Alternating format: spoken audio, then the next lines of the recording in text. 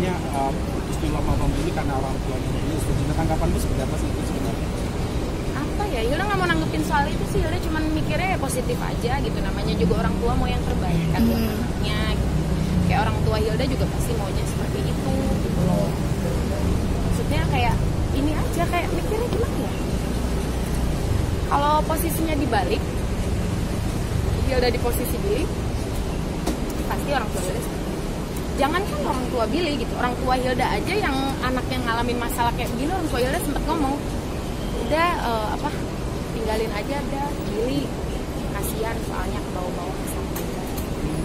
Mama sempat ngomong gitu cuman kan Hilda orangnya bisa ngejelasin ke Mama gitu ya sama kayak Billy juga gitu.